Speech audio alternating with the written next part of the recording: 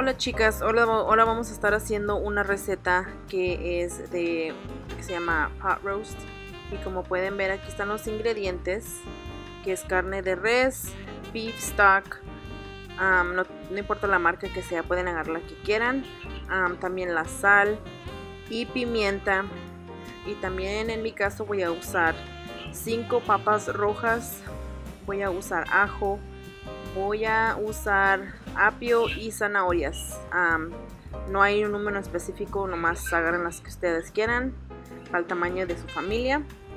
Y vamos a lavar la verdura que esté bien limpia antes de picarla. Y mientras voy a tener una cazuela con aceite en la estufa calentándose mientras pico la verdura. Y esta carne es específicamente para pot roast, es un chuck roast y en el paquete ahí dice específicamente para pot roast. Y nomás estoy echando sal y pimienta pero aquí pueden echarle a su gusto. Yo nomás estoy echando lo que pienso que es necesario. Y acuérdense que el beef stew que es el caldo de res ya también tiene sal para que no le vayan a echar mucha sal a la carne. Y aquí nomás lo vamos a dorar en todos los lados para que esté dorado y que agarre un color como medio café oscuro Toda la verdura que ya haya picado lo voy a echar en un plato y como pueden ver aquí estoy cortando la papa nomás en pedacitos, pero ustedes pueden cortarlo a su gusto. Y aquí nomás voy a darle la vuelta a la carne para que vean el color que debe de tener y voy a hacer lo mismo en todos los lados.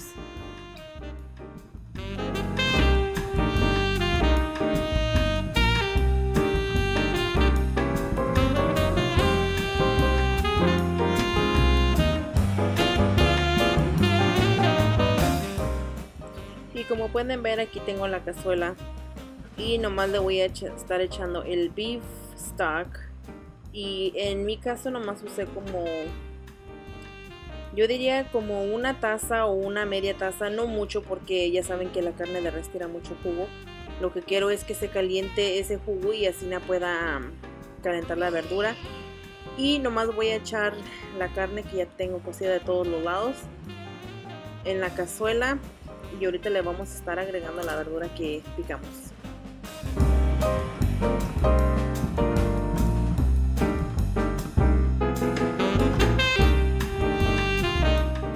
Antes de agregar la verdura, como pueden ver, piqué el ajo en pedacitos y se lo puse sobre la carne, nada más para que agarre un poco más de sabor. Y ya le echamos toda la verdura encima. Y la eché encima nomás porque con el, el vapor va a cocinar la verdura para que no se deshaga. Y aquí ya nomás le estoy poniendo el tiempo a 8 horas en lo más alto. Y ya nomás dejo que se cosa y aquí como pueden ver ya pasaron las 8 horas y la carne ya está. Y así queda la carne bien tiernita la chequean y si se cae así de fácil quiere decir que ya está.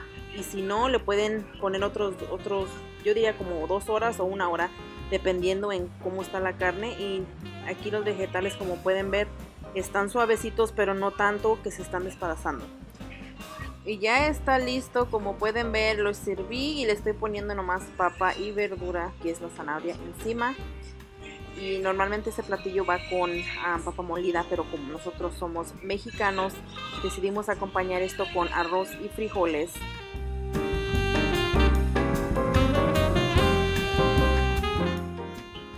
y así es como queda el platillo. A mi marido le encantó y se los recomiendo. Es un, platillo muy fácil de hacer en muy pocos minutos. Ojalá que les haya gustado.